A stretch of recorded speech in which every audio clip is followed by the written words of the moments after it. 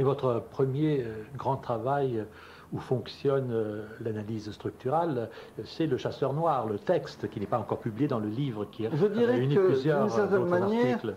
Je dirais que d'une certaine manière, c'est déjà Clistène Laténia, qui paraît en janvier 64 avec Pierre Lévesque.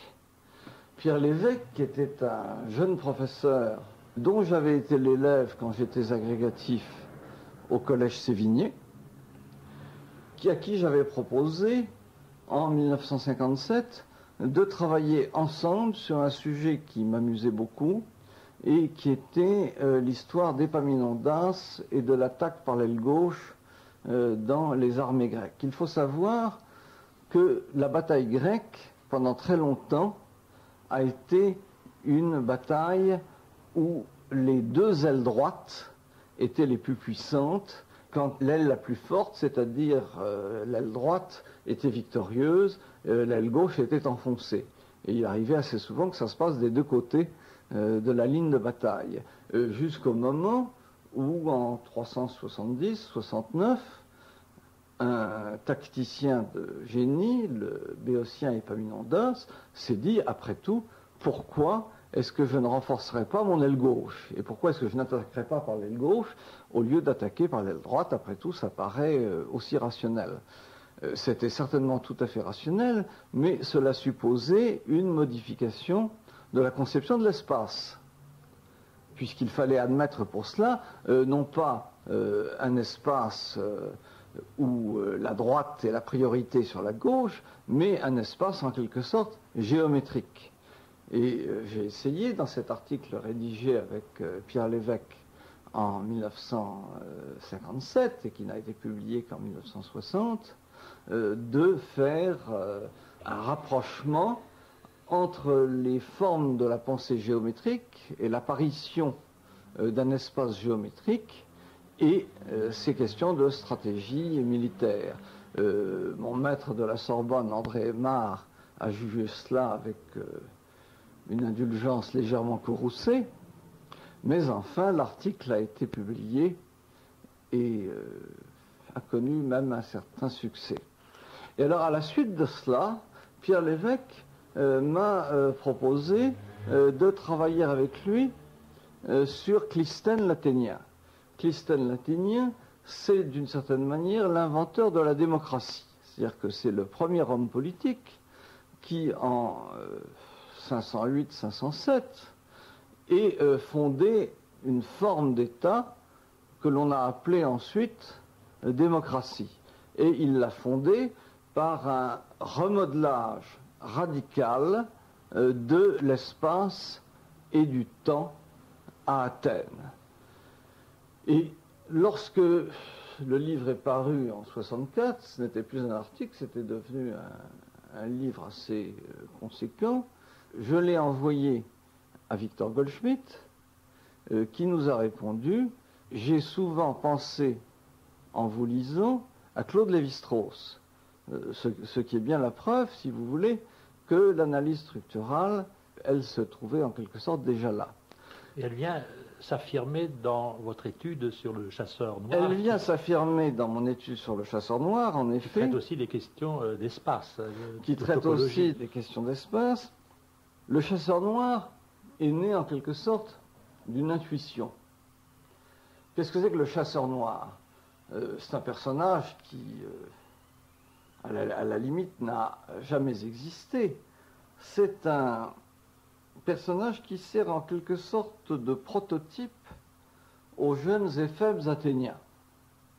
Les éphèbes athéniens, avant d'entrer dans l'âge adulte,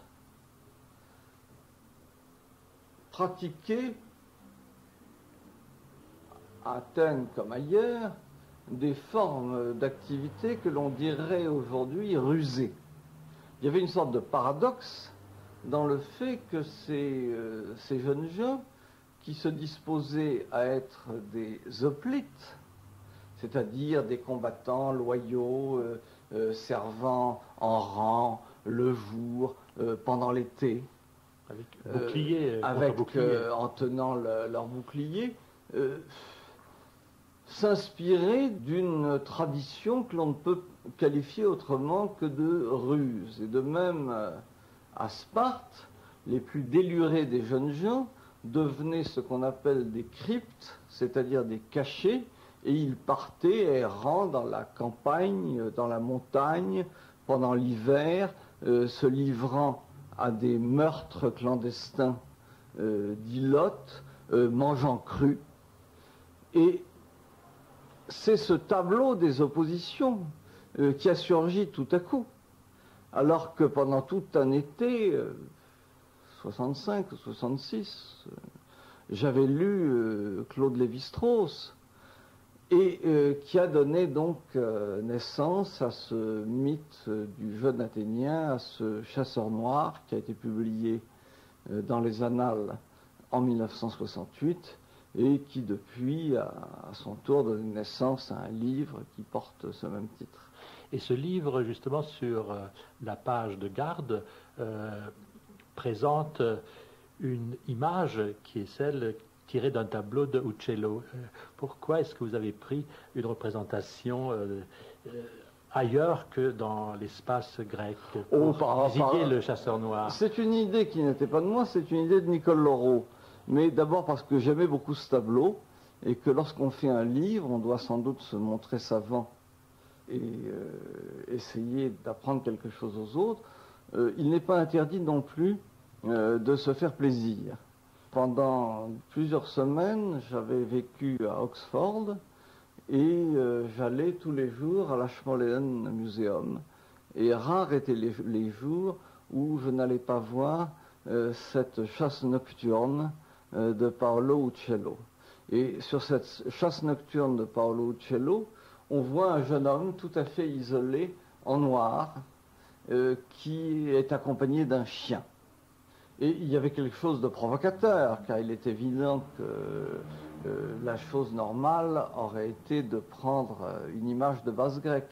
Mais justement, dans sa thèse consacrée à la chasse grecque, euh, Alain Schnapp, qui fut mon élève, a montré que le chasseur noir est, une idée, un concept dont on a besoin pour comprendre les vases grecs, mais qu'il n'est jamais représenté directement sur les vases grecs. Parce que le chasseur noir apparaît aussi dans certains contes et dans certaines légendes. Je pense par exemple à des contes euh, de, type vosgien. Ah, il y a quantité de contes alsaciens, vosgiens, euh, italiens, qui parle du chasseur noir. je sais que vous avez été invité, par exemple, par euh, des ethnologues de l'université de Strasbourg euh, qui euh, voulaient peut-être vous amener sur le terrain d'un rapprochement, d'un terrain un peu comparatiste entre le chasseur noir grec et celui de la légende. Il y a naturellement des quantités de comparaisons à faire. il y a le chasseur vert de Kafka, il y a le cacciatore nero du Falstaff de Verdi, il y a le Schwarzjäger du Freischutz de Weber. Euh, c'est un personnage euh, qui apparaît énormément dans le folklore, mais euh, le plus souvent, il apparaît comme une sorte de chasseur maudit. Le chasseur noir grec, ce n'est pas tout à fait cela. c'est un jeune homme qui a échoué dans son initiation et qui, au lieu de rentrer et de devenir un adulte, reste en quelque sorte en permanence euh, dans les solitudes de ce que les ethnologues appellent la brousse.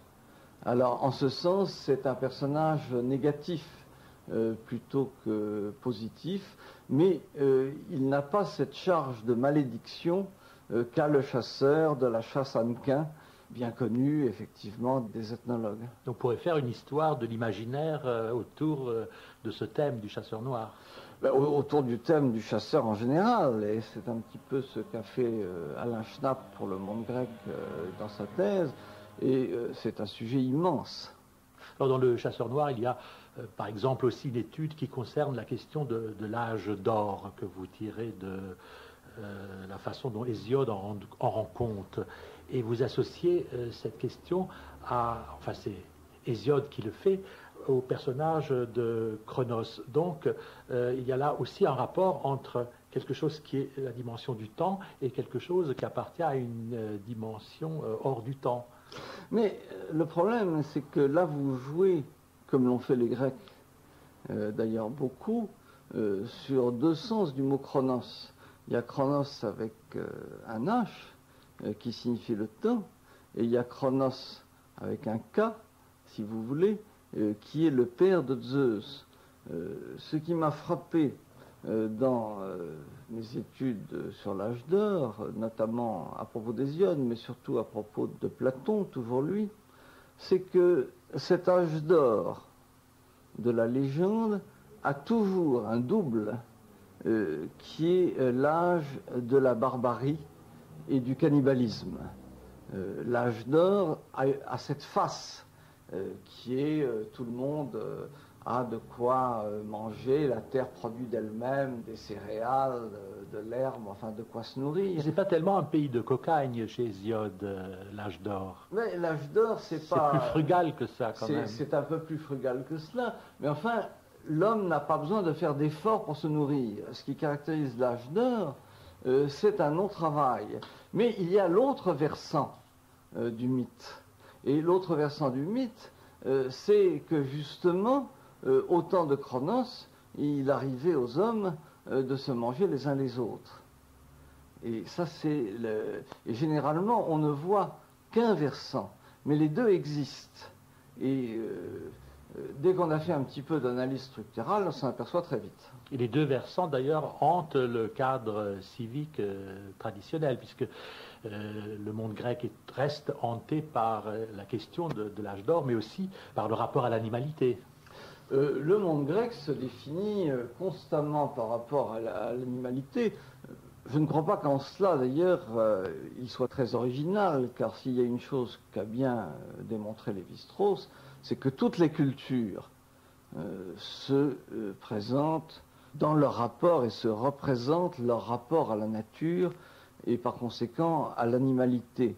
Et même dans ce qu'on appelle improprement le totémisme, l'homme feint d'être un animal, il sait très bien qu'il feint d'être un animal et qu'il n'est pas un animal.